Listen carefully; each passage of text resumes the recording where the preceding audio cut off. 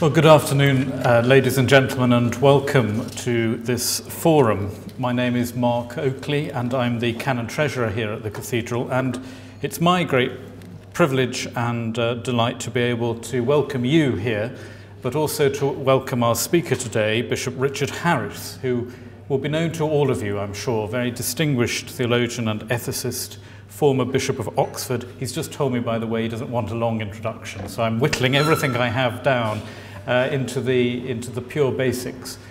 But you wouldn't be able uh, to stand here and not introduce him in the strongest um, terms as somebody who really has helped the church uh, think through very complex issues, but always in a very accessible, non patronizing way. When I went to King's College London uh, to read theology, I remember my first day walking along the corridor and seeing a man in a black cassock, and I said, Who's that? And they said, It's the Dean. It's the Dean. And I said, He looks very distinguished, and uh, I'm slightly in awe of him.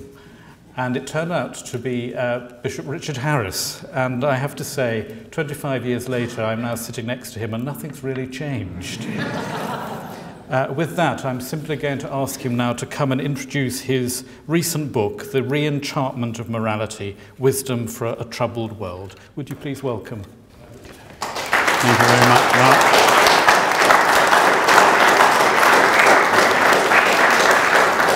Thank you very much, Mark, for that admirable introduction. Can everybody hear quite clearly at the back? You probably know the story of the bishop who tapped a mic, and all over the auditorium came the words, I think there's a fault in this mic.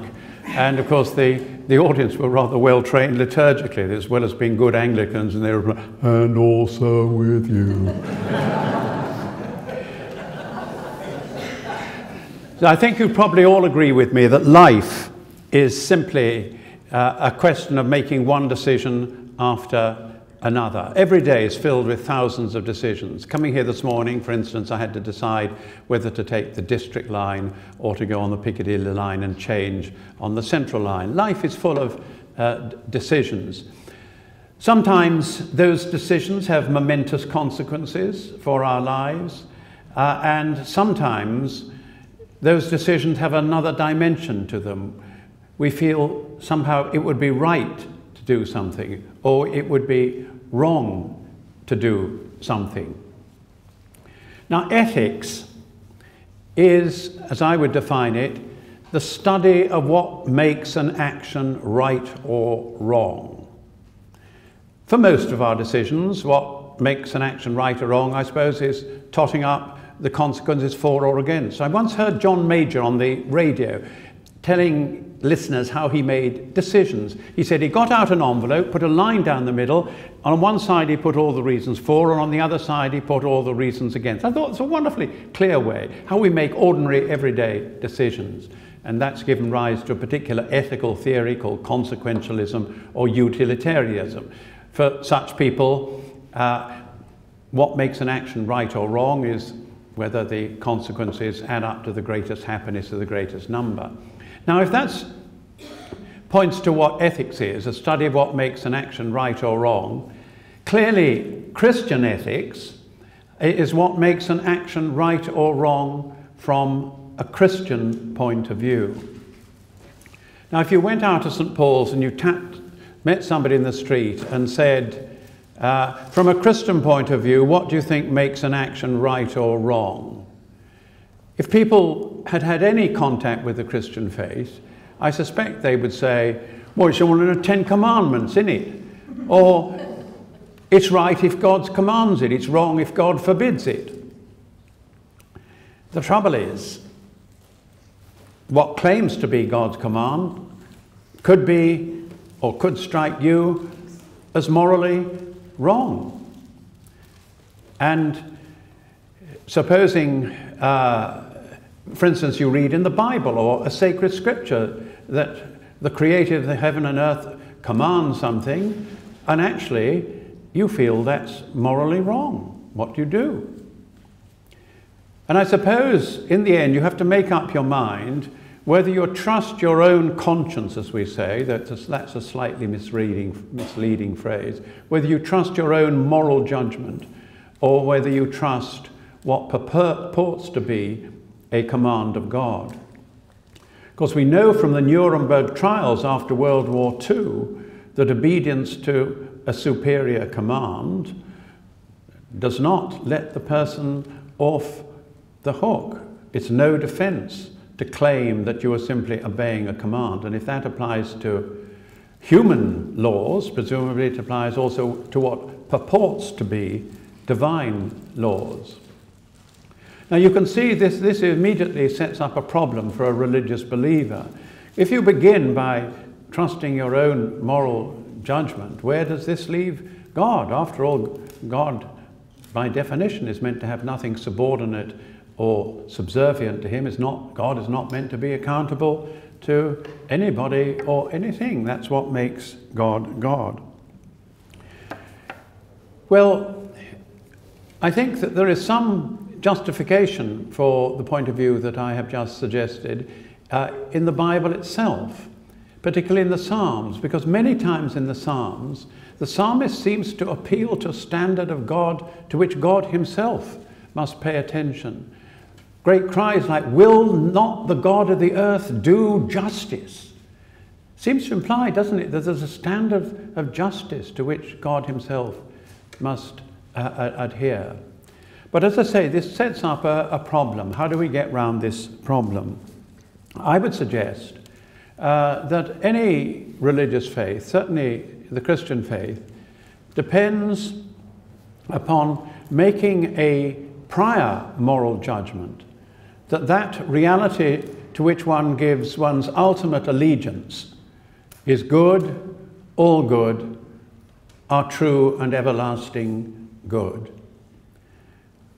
I take seriously what purports to be divine commands because, first of all, I've made a prior judgment that I believe that God is good, all good, are true and everlasting good. And obviously, I believe that on the basis of what Christ has revealed of God and what he has uh, done for us to bring about uh, our, our human uh, redemption. And that brings out one very, very fundamental point. It means that the pattern of Christian ethical thinking uh, is one of recognition and response. It's recognizing where ultimate good lies and wanting to respond to it in some way. It is, therefore, through and through a theological ethic. And that is the pattern you get both in the Hebrew Scriptures and in the New Testament.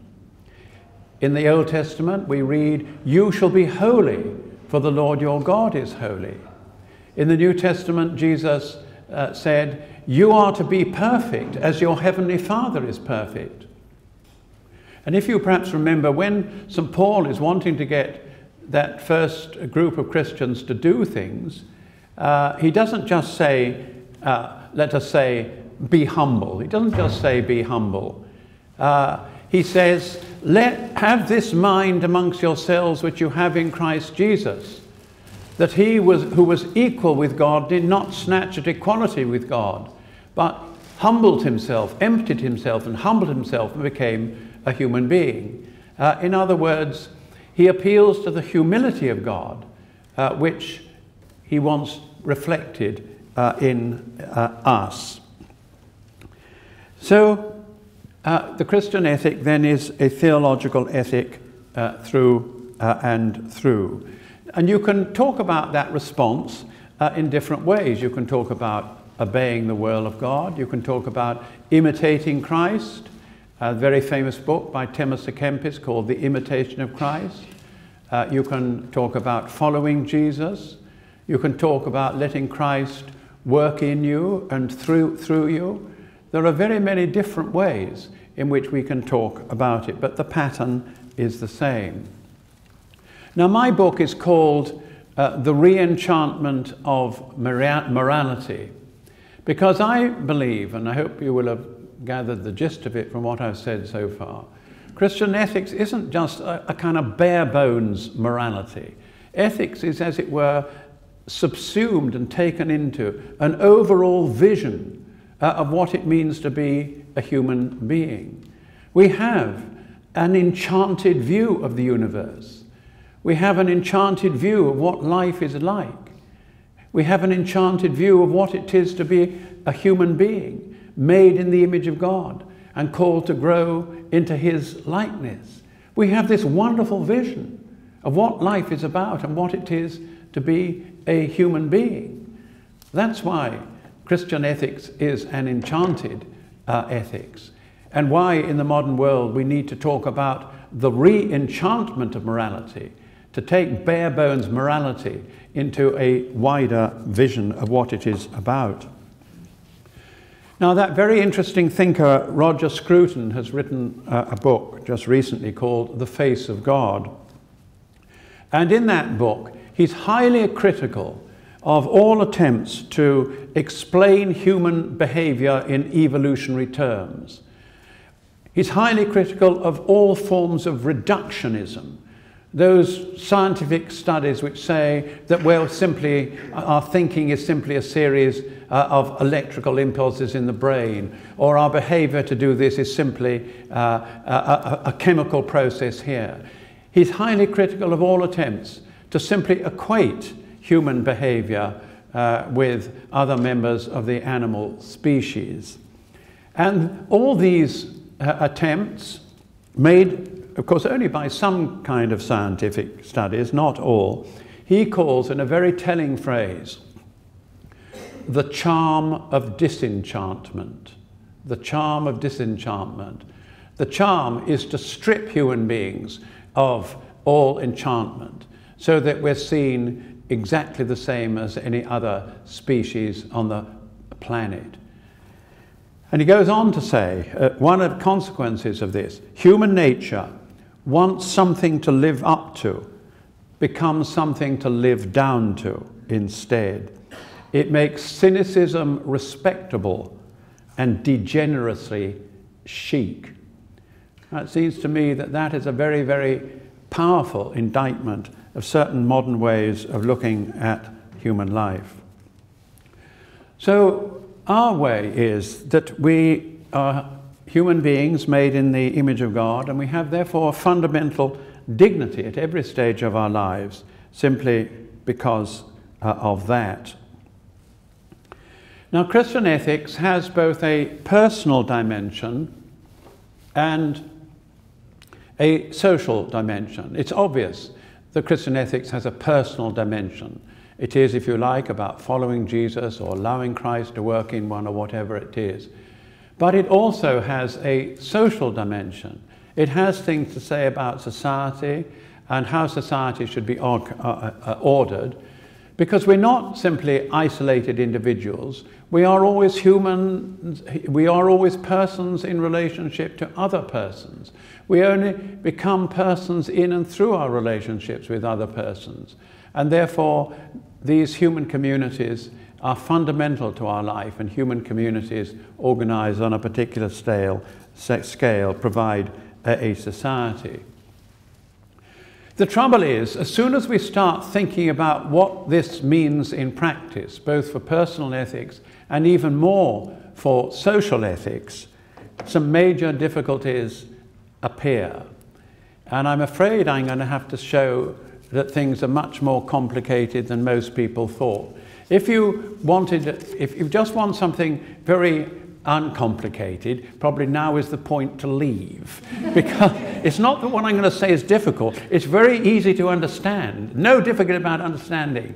But I have to point out that Christian ethics uh, is more complex than a lot of other a lot of people think. First of all, you can't have read the New Testament without getting an overwhelming impression that the teaching of Christ is pretty radical. If you read the New Testament, it's a very radical teaching. How do you apply that to ordinary everyday life?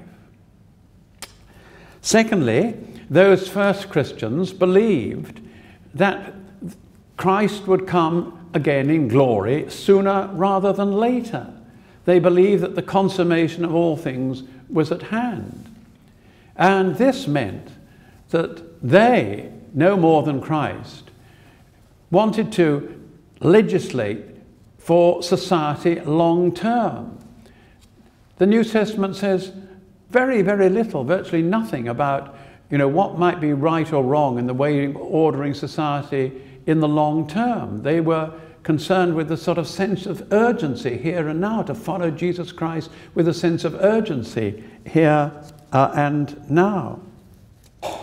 And this means uh, that it's not always difficult or easy to, to simply read off from the New Testament what might be right or wrong from a Christian point of view in the world uh, today. So, what did the early church do? When it couldn't find any clear teaching in the New Testament, and even sometimes when it did, what did it do? It borrowed the best standards from the Romano Christian world. In the same way that the early church had no scruples at all about taking over classical culture and classical literature and, as it were, baptizing it, incorporating it into Christianity, and even more, some of the best philosophy, Platonism, later on Aristotelianism. They had no scruples about taking of the best secular thought, the best secular values, and taking it into the Christian faith. And they did that in the New Testament itself. Some of the most basic, basic down to earth teaching in the New Testament uh, is pretty identical with what the best teaching was in the Romano Christian world uh, at, the, uh, at that time. Now, I don't think as Christians we should have any worry or difficulty about that. Because it's always been a fundamental teaching of the Christian faith that simply by virtue of our human nature, we have some capacity for moral discernment. All right, sometimes we're blind, sometimes we see through a glass very through a glass that's very dark indeed and we can twist and turn and all that. But nevertheless, by virtue of the fact that we are human beings, we have some capacity for moral discernment, whether we believe in God or, or, or not. Traditionally, that's part of what's been meant when Christians have talked about a natural law. Uh, it is natural to human beings to be able to make moral judgments, belongs to our human nature uh, as such. And therefore, I don't have any uh, problem uh, at all with where I began this, this afternoon by suggesting that we have to begin with our own uh, moral uh, judgment, nor do I have any problem at all about recognizing what might be valid uh, in secular viewpoints. Now, one of the features of our present time, as we know, is the extraordinary hostility uh, between uh, advocates of uh, what I call uh, uh, the new atheism, the attack dogs of the new atheism, and, and Christianity. And what distinguishes the new atheism from old atheism is that they don't just believe that a religious view of the world is untrue, they believe it is immoral. The, the, attacks of people like Dawkins and Hitchens are very fierce they, because they think that Christianity is evil. Hitchens uses the phrase, it's a kind of poison which needs to be drained from uh, society. Now, in reaction to that, some Christians say, well, unless you believe in God, you have no basis for your moral judgments at all. Uh, it's only if you believe in God, who's the source and stand of all goodness, do you have any firm basis for your morality, and your morality, therefore, doesn't uh, count for anything at all. Now, I think that both those extreme points of view are wrong. I think we should recognize and affirm and celebrate good values, whoever puts them forward, first of all.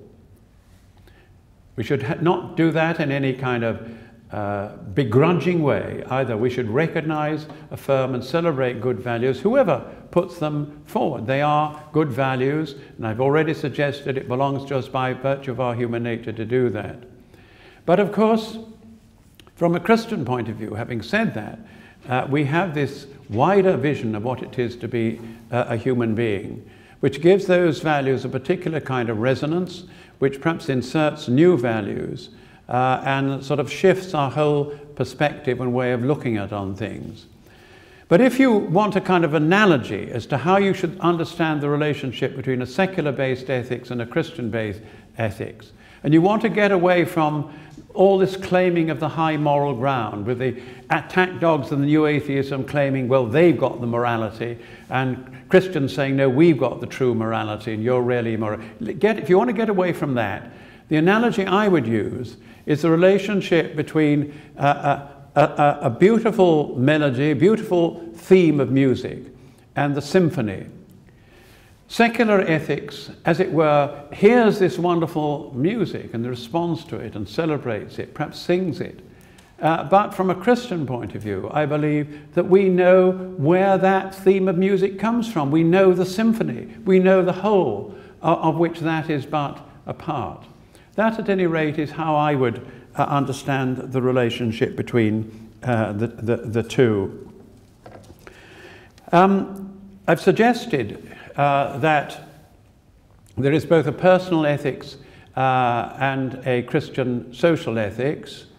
Uh, and obviously, uh, applying or looking at the Bible and trying to draw social ethics from the Bible is more difficult in the case of social ethics than it is in terms of personal ethics.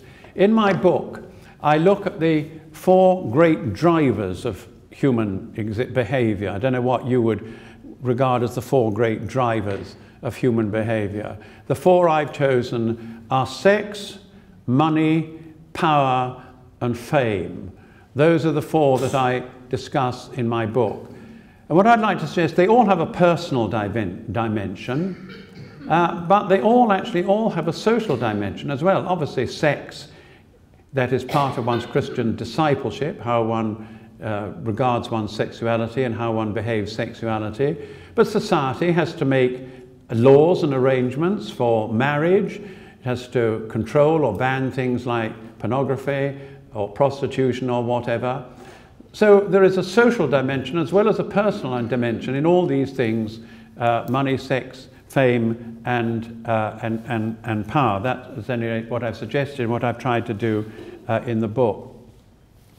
Now, I've suggested as far as personal ethics, obviously, uh, our starting point is the dignity and worth of other people. And to love other people uh, is to have that firmly in mind uh, and to have the, the well being and the happiness of that person or group of people uh, in mind. That is the starting point. But of course, it is only the starting point. If you're actually trying to work out in what does the well being and the happiness of that person consist, you have to sometimes think quite hard. It doesn't come to you on ticker tape in, the, in, in, front of your mind. You sometimes have to think hard what is in the best interest of the well being uh, of other people. Now, when it comes to social ethics, obviously I'm not dealing with all these subjects in detail now because I'm drawing to a conclusion so that we can uh, open up to some uh, discussion. But when it comes to um, social ethics, uh, which is fundamental, just to remind you, because we are persons only in and through our relationship with other persons. The person I'm a huge admirer of, uh, Reinhold Niebuhr, wrote what I think is still the best defense of democracy in a book called The Children of Light and Children of Darkness. And uh, in that book, he said, Man's capacity for justice makes democracy possible man's inclination to injustice makes democracy necessary. And I think that that extraordinarily well balanced statement gets it just right and sums up so beautifully, succinctly, the Christian understanding of what it means to be a human being in society. Man's capacity for justice makes democracy possible. We have a good side of us. We have an idealistic side in all of us. And we don't want to forget that and become so pessimistic that we, we forget that. But at the same time, the Christian faith has always wanted to stress that they're weak. We're weak as human beings, fallible, flawed. We very often pursue our own interests too ruthlessly, expense of, of other people, and so on. And so the second half of that aphorism of Niebuhr goes man's inclination to injustice makes democracy necessary. And the, the book is about democracy. What he's referring to, uh, of course, uh, is the fact that one of the fundamental features of democracy, perhaps the most important, is that you have checks and balances on the power of government. You have an independent judiciary, you have an independent legislature. Um, it's what the Americans call a separation of powers. So that tyranny cannot arise. That's one of the fundamental points of democracy. A true democracy is there not just to express the wishes of people, uh, but it is also to stop any kind of tyranny uh, arising. Now, this view of human beings, which I think comes from the Christian faith, is what I would call a hopeful realism. It avoids cynicism on the one hand, it's a hopeful realism, and it avoids mere sentimentality uh, on the other. It is also a realism. And I think that is the basic stance with which a Christian should approach the ordering of uh, society. To, so, therefore, to sum up, in order that we can go into some uh, discussion together, I've suggested basically five fundamental features which run uh, through uh, my book. First of all, the Christian ethics is a theological ethic. It is an ethic based on the pattern of recognition uh, and response, recognizing that the God in Jesus Christ is our good, our true good, uh, our everlasting good. We desire to respond to that with our whole life. Secondly, it gives us a vision of what it is to be a human being. It is an enchanted ethic in contrast to so much uh, of today's discussion of human beings which think of us uh, in reductionist terms. In terms of both personal ethics and uh, social ethics, the fundamental basis must be the dignity and worth of every single human life uh, at every stage of that life. And the forefront of our minds, we have the desire for the happiness and well being of other people, which is presumably what we mean by, by love. But in contrast to what too many people have, have said, uh, and, and along the lines of what a, a, a philosopher I must uh, much respect once said, uh, love does not answer the questions. It means that you have in the forefront of your mind the desire for the well being of happiness of others. But it opens up all the old questions about what, in what way we can best serve the well-being of happiness in others.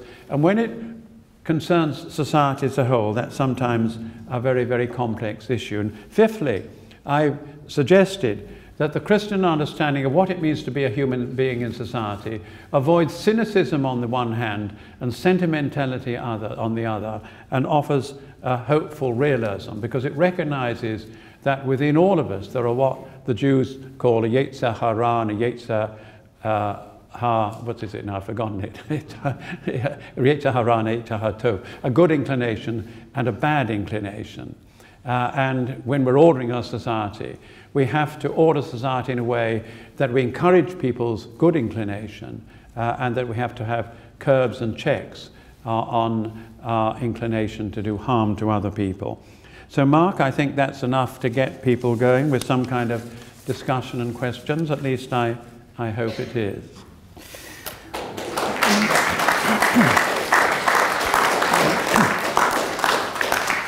Well, thank you very much. And uh, we've got some time for questions. And uh, Bishop Richard's going to stay by the mic so you can actually hear his answers. And I'm going to ask you, please, uh, to raise your hand if you wish to ask a question. But if I may uh, just start us off. Um, in your book, you talk about there being no strong, no one strong inspiration out there that, that provides a sort of um, a moral framework for people anymore. You, you talk about living on moral credit. And uh, I was very conscious of this uh, teaching some A level students about a year ago when they asked me, when we were talking about these issues, look, the basic question is why should we be moral? What's the point? What, what would you answer? Well, first of all, uh, I think it is uh, true, and this is not just as it were a religious believer sort of doomsday scenario, it is, uh, it is true uh, and it's not surprising that it's true that our society is uh, living uh, on moral credit, as you have just referred to it, it there. Um, because of the, the, the, Christian faith, and to be fair, also the very strongly based uh, moral humanism which grew up in the 19th century, uh, there is a substratum in our society uh, of, of, of, of, of moral conviction. It's the, it, it is there. But I suspect it is being used up. It's interesting that Seamus Heaney, the very distinguished poet, said precisely that. He's, he put it, he said, our society is living on an unconscious, an unconscious morality. And he went on to say, I think my children's children will not have that. And there are all sorts of uh, signs uh, in our society that that is, uh, that is so. I mean, you could pick thousands of things, and no doubt we'll be referring to them, but the latest that caught my mind was the figures yesterday, the very high and growing percentage of students at university caught cheating. Um, I was very sorry to see that uh, King's London sent down 40 people last year for cheating. Uh, mind you, of course, it, if they come up high, high, on the league, it might be a good idea because at least they're catching them. What about these universities where they're not catching them? So these leagues can be a bit misleading. But I mean, that's for me is a shocking, uh, shocking figure. Uh, first, first of all, um, but your question went went wider than that as to what should be the motivation. Why should people be good uh, and, and evil? Uh, uh, or rather, why should they seek to do what is right and avoid what is evil? And why should they pursue uh, the good? The Christian answer I have given, I, have given you because we recognize the goodness of God and we want to respond to that. Uh, we, may, we recognize we're made in his image. We want to grow in his likeness. We want to allow him to work his purpose, good purpose in and through us. But for a secular minded person who has no religious belief, I think quite simply they simply have to come up with their own answer. Uh, because th there's, no, there's no other overall answer.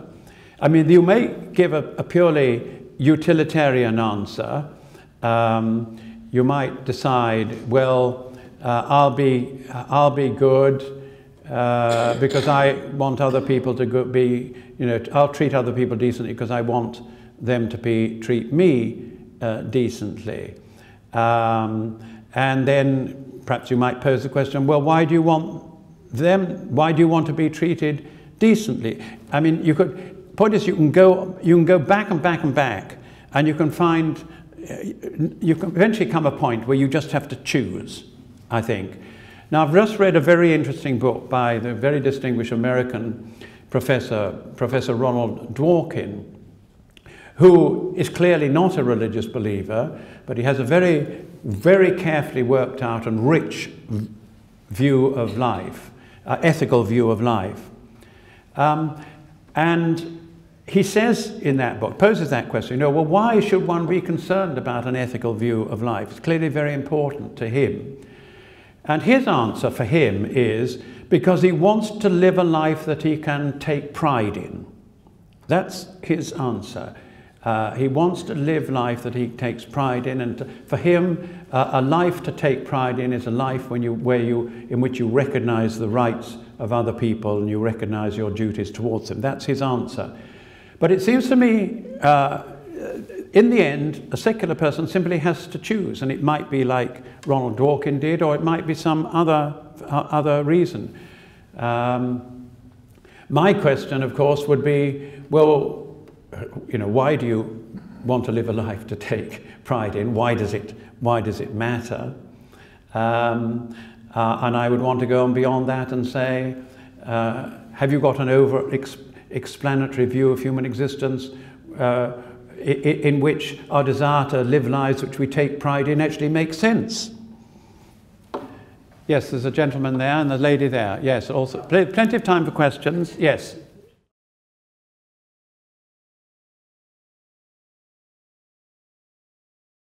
Well, I think what the situation described, of course, is very widespread today and, and has be, rarely been in our society, much more widespread for the last hundred years or so.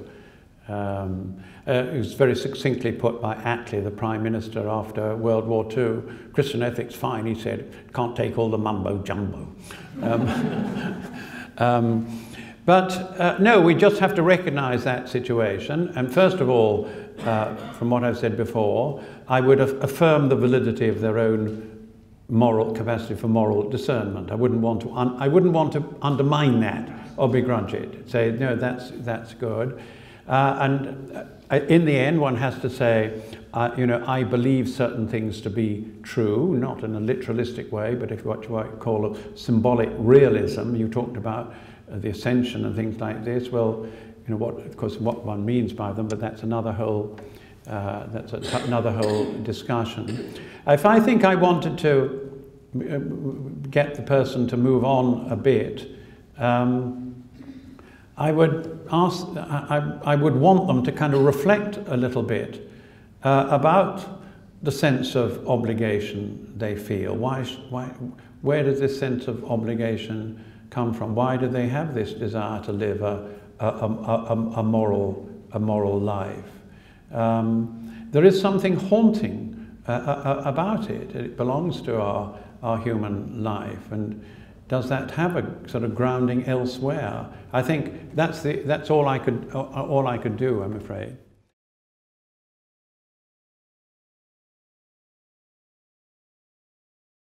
Good. Well, I'll, I'll, respond to that first, actually, because it's a very important point. Too many people think that Christian ethics uh, is uh, uh about an ethics which is done kind of in the fear of God or to obtain heaven or to avoid hell. That seems to me to be a caricature and we should, we should, we should resist that. Uh, that, is, that is not Christian ethics. Uh, we do things because, as you put it quite rightly, because they're right to do. Um, and there's, there's be no better reason for doing something that it is simply uh, right, uh, right to do. If you're, if you're kind to somebody, um, what better uh, reason there is there than the fact that there is no reason for doing it. Uh, I think I put in my book, you know, the best reason is that there is no reason. They are, are there uh, and you, you recognize there with a particular kind of need and you want to meet that need with an act of kindness or sensitivity or gentleness or, or whatever, whatever it is. That, and I would say that, that the best ethics both Christian and non-Christian, does have that feature. The difference is what we would hope that as a Christian view of things, uh, first of all, it helps to open one's eyes to the reality of the other. It helps to keep one morally sensitive. It helps to give one the grace to act in that way. What I haven't talked about at all, but perhaps should have done a bit more, is that Christian ethics is just as much about receiving the grace of God to do what is right as it is about trying to illuminate our, illuminate our minds to tell us what is right.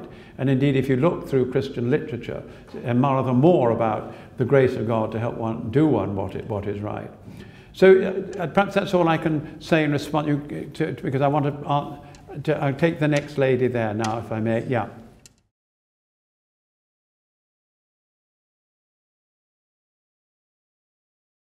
Well, my own view, quite simple, was that the, the protesters acted uh, as the voice uh, of billions of people around the world who are absolutely scandalized by the present operation, the present market, the present financial system. And of course, although they were a ragtag bobtail of, of people in terms of views, not as people, but in terms of, of views from sort of fairly loose anarchy on the one, one, one, one hand, um, nevertheless, they, they were voicing the pain of billions of, uh, of, people. That's the way I, that's, what, that's the way I look at it. And there was a lady there on the end there, yeah.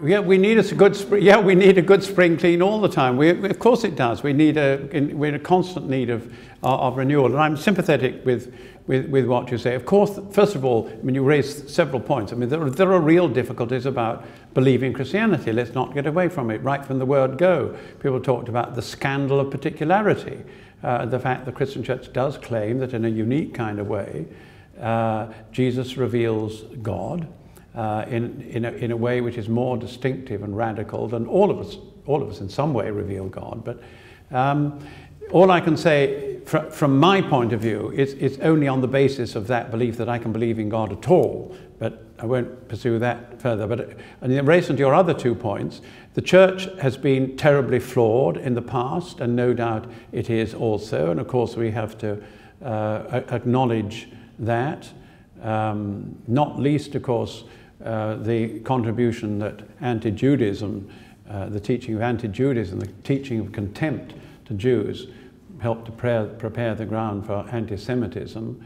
Um, all sorts of ways the church's uh, record is, is, is bad.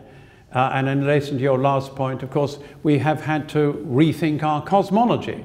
But um, that's no fundamental problem. The number of uh, percentage of believing scientists in the population is about the same as other people. No, not much really higher or less. I mean, it, it, it, it's possible to rethink these things.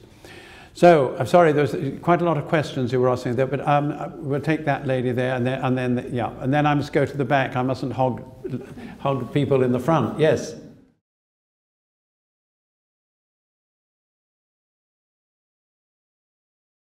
Well, um, I'm afraid that probably the children have no morals at all because the adults who've been their role example models for them don't have morals either.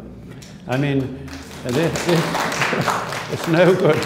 Just it, we know it's not no good just blaming uh, children. Um, and um, I, I, one, it seems to me that one of the one of the fundamental features that's gone wrong in our society in recent years is that people have thought that if it's, if it's legal, it's enough. If you take the, the parliamentary expenses scandal, for example, most MPs pursued what they thought were the rules and procedures of the time, but it struck the wider public as dishonourable. They said it, their view was, well, it may have been legal, you know, uh, finally legal in some cases, but nevertheless struck most people as being not right, as dishonourable. And I think that that attitude has been prevalent not only with parliamentary in Parliament, but also so much of our economic life uh, and, and elsewhere. People really see what they can, they can get away with. Uh, and what we need to do is recreate uh, a, a, new ethos a new ethos at every level in our society, family level, local communities in the country as, as, a whole, where people don't just say, what can I get away with? Is it legal? But first of all, you know, is it actually right? Is it honourable?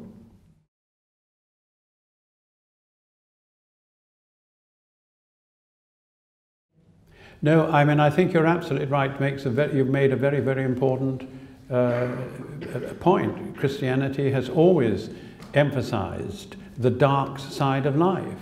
It's always emphasized there is a tragic dimension uh, to human uh, life, and that originates with, within us, not just by virtue of our, our, our finitude. Um, and we take this into, into account, and that's why uh, we stress our need for the grace of, of God in our personal endeavor, uh, and the need in society not to have a totally utopian view of society. And you're quite right, what went wrong with, the, uh, with, with Soviet-style communism uh, was not uh, the fact that it was atheistic, uh, and it, wasn't, it didn't help that it was atheistic, but that's not the fundamental, fundamental problem. Uh, was that the idea of the advance guard of the proletariat seizing power with no checks or balances did not do justice to the fact that if people seize power uh, and run a country uh, in the name of whatever it is, in the end they, they run it for their own interests.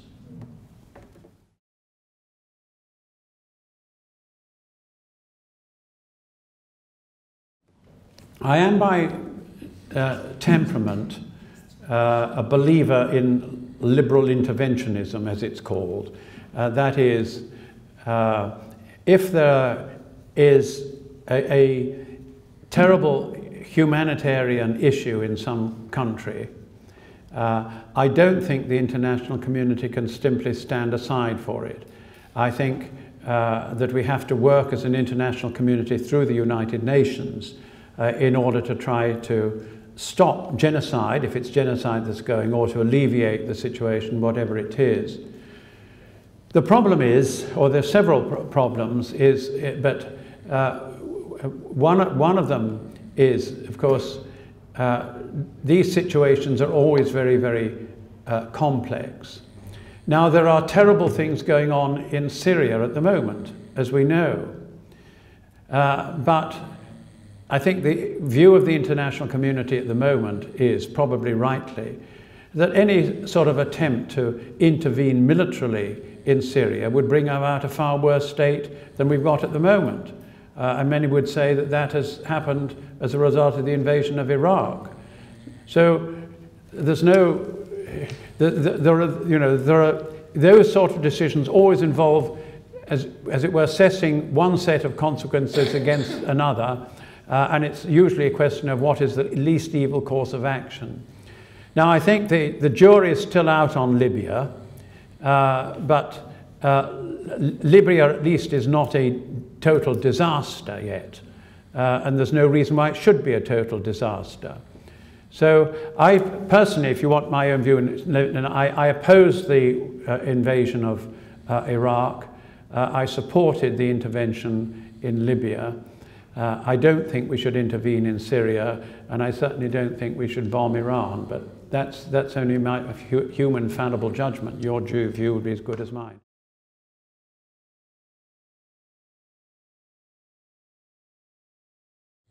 I, yes, yeah, no, I quite agree. I think that there's um, a very close link between aesthetics um, and uh, spiritual response. One of my favorite sayings is from St. Augustine, where he addresses God, O thou beauty most ancient and withal so fresh. And the early church took beauty far more seriously uh, than we do now seriously, and they saw that beauty, truth, and goodness were integrally linked and all have their uh, source and origin uh, within, within God. Our response to beauty is akin to our response to, to, to God. And God, as we believe, well, we, we, we, tend to talk about the glory of God, but what I, what I would define the glory of God, that sublime conjunction of truth, beauty, and goodness, which makes up the glory of God.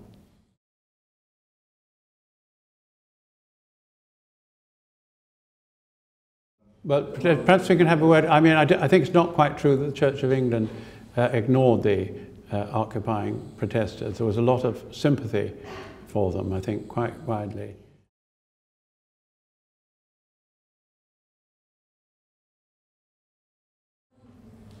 Well, I think you, you put, put it very, very, very well. I mean, uh, in terms of, you, I think you explained the, the Islamic position uh, very, very, very clearly. Let me say, first of all, I'm a firm believer in life after death, in heaven and, and hell. Uh, I firmly believe them. Um, it depends what you mean by hell, of course, but I'm quite certain uh, that this life is not the only life there is. But uh, what Christianity says is that we can be taken up into this eternal life here and now. Uh, in and through Christ, we come to share in the eternal life of Christ here and now uh, which has a dimension beyond death, but we don't have to uh, wait until death in order to enter uh, eternal life because it is in and through our relationship with Christ now that we're brought into this eternal relationship with, with God. That seems to me that what Christianity is saying.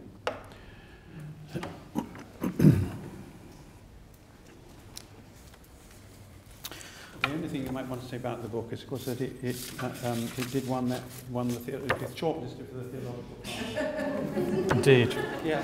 I will do.